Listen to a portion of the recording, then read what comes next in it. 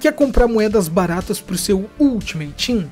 Agora o canal é parceiro da SC Gold. Além de um ótimo preço, você pode receber suas coins pelo método seguro de transferência. Utilize o cupom BRUT para 5% de desconto e de quebra você ajuda o canal. Links todos na descrição. E aí pessoal, sejam bem-vindos a mais um vídeo, eu sou o Alisson e você está no canal que vai falar de 8 jogadores que devem receber um upgrade para o FIFA 21.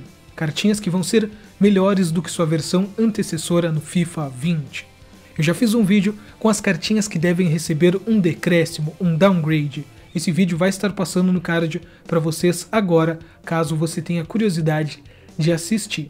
Lembrando, pessoal, que eu selecionei apenas 8 para o vídeo não ficar gigantesco e também lembrando que eu dei um upgrade baseado no que a EA Sports normalmente dá de upgrade para os jogadores. Eu fiz aqui esses upgrades baseando-se numa linha de raciocínio igual da EA Sports.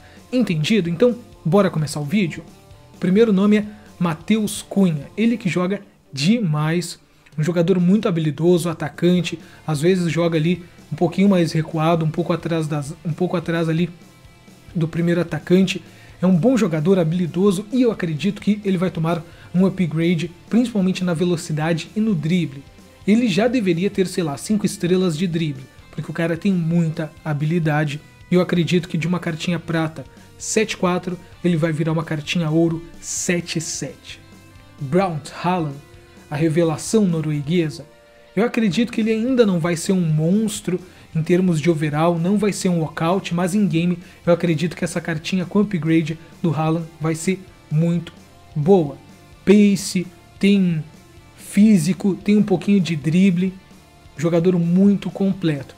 Além disso, 1,93 de altura por aí, o cara é um gigante. Se tiver 4 estrelas de drible no FIFA 21, aí sim, com certeza vai ser um dos caras mais caros no início do FIFA 21 no Ultimate Team. Muita, muitas pessoas estão especulando já a saída do Haaland do Borussia Dortmund. Ele que tem o sonho né, de jogar a Premier League um dos comandantes da boa campanha da equipe da Atalanta, o Illicit, joga demais. Ele tem um over decente no FIFA 20, 8-4, mas muito lento e uma cartinha inutilizável. Serve só para SBC. Quem sabe um Illicit jogando até de meio campo no FIFA 21. Eu acredito que ele vai tomar um upgrade no pace, porque eu não vejo ele como um cara lento, sinceramente não vejo. O chute dele é bom, um cara que tem técnica, um jogador alto, um drible muito bom também. Eu acho que ele mereceria um upgrade mais robusto para o FIFA 21. Vocês citaram bastante o Neymar Júnior e eu tive que colocar aqui porque em outros FIFAs ele acabou tomando um downgrade, né? Porque ele foi para o PSG, teve conflitos, né?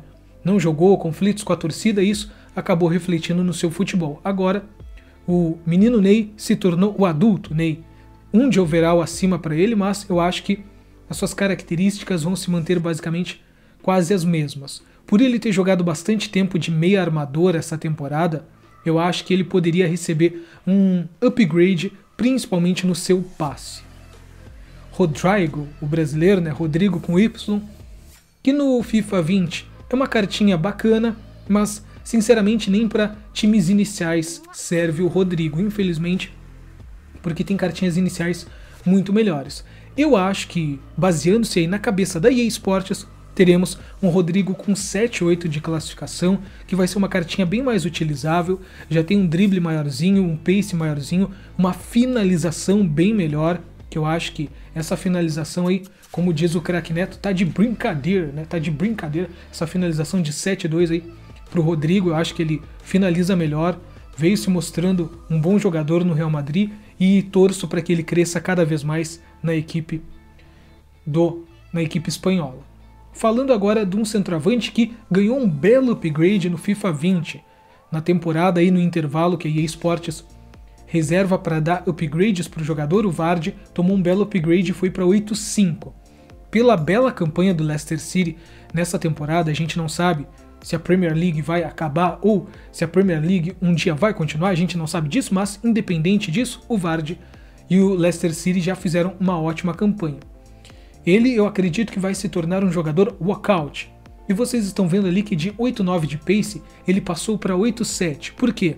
Porque a EA Sports tem costume de fazer isso sim. Ela dá um downgrade no pace pro cara, mas aumenta o overall. Por que, que isso acontece? Porque o over dos jogadores muitas vezes tem ali bastante da reputação internacional, ou seja, o cara pode não ser tão bom em game, mas a reputação internacional dele é alta. Ele é um jogador conhecido. Caso, né, do Tony Cross, por exemplo, do Real Madrid. Ele é um jogador de over muito alto, mas em game é uma porcaria. Ou seja, ele tem atributos que em game não são tão bons e não condizem aí com o seu over. Eu acho que essa ótica vale para o Vard, mas chute muito bom, passe melhorado, drible melhorado, físico melhorado. Acho que esses outros atributos aí ele vai ter mais. Jadon Sancho. Eu também acho que ele vai virar um walkout, assim como o Vardy, o Sancho, que é peça fundamental na boa equipe do Borussia Dortmund, veio se, veio se mostrando um jogador cada vez mais valioso. Hoje várias equipes estão interessadas no Sancho e eu acho que ele vai virar um walkout. De 8-4 para 8-6.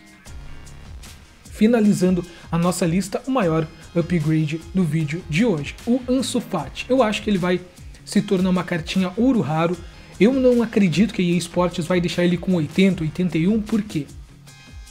Porque a EA Sports ela é bastante conservadora nos seus upgrades. Mesmo um jogador sendo uma revelação, né, o Ansu Fati é um dos poucos jogadores agora da base do Barça que está tendo uma chance. Eu acho que ele vai vir com 7-7 e se vier com 4 estrelas de drible também vai ser muito bugadinho, principalmente para o início do FIFA Ultimate Team. Até para o modo carreira também vai se tornar um jogador que é top 10 aí de contratações de modo carreira, top 10 de contratações de Ultimate Team no início, muito bugadinho. Vale aqui fazer o parênteses de que o Barcelona está sendo pressionado na sua direção por não conseguir fazer joias da base, que é uma das marcas do Barcelona, conseguir jogadores muito bons vindo da base. Então, já que não tem a base, eles acabam comprando jogadores. E as compras do Barcelona foram meio desastrosas, né? Tipo, o Boateng, o Kevin Prince Boateng, que já não tá no auge, é um jogador mediano, não é um jogador lixo, mas mano, pro Barcelona, né, contratou também o Bright White, que também não é aquele monstro, aquele craque. Então a gente vê o Barcelona contratando caras que não são lá grandes coisas assim devido ao seu trabalho de base que parece não está sendo uh, tão bem feito assim. Encerrando parênteses encerrando o vídeo de hoje, se você quiser mais jogadores, quer saber de mais jogadores, vai lá na nossa aba de comunidade. Muitos inscritos deram várias sugestões de jogadores que com certeza vão receber um upgrade para o FIFA 21. Se você quiser mais jogadores, ver a lista, clica a aba comunidade que você verá. O vídeo também vai passar para vocês agora no finalzinho, quando tocar a musiquinha com os downgrades. Então assista. E é isso aí, pessoal. Eu fui! Por apenas R$ reais você pode se tornar membro do canal e participar do nosso grupo lá no WhatsApp.